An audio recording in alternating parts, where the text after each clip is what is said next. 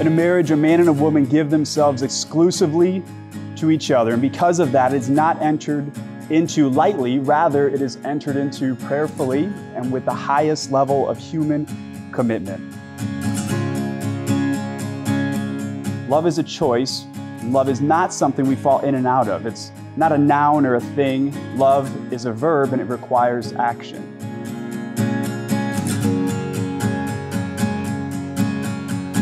The action of love is very powerful because when done, it lasts forever. It doesn't die. So commit to it, choose it. This is a beautiful ceremony, but this day will pass. A beautiful marriage, however, will last forever.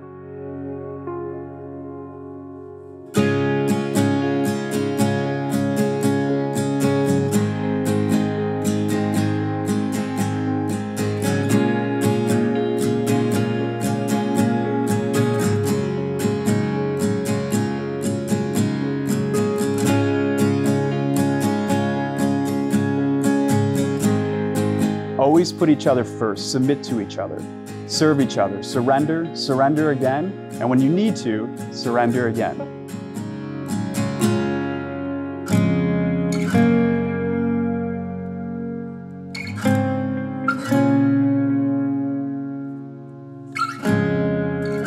Love never gives up. Love cares more for others than for self. Love doesn't want what it does not have. Love does not strut, doesn't have a swelled head, doesn't force itself onto others, isn't always me first, doesn't fly off the handles, doesn't keep score of the sins of others, doesn't revel when others grovel, takes pleasure in the flowering of truth, puts up with anything, trusts God always, always looks for the best, never looks back, but keeps on going until the end.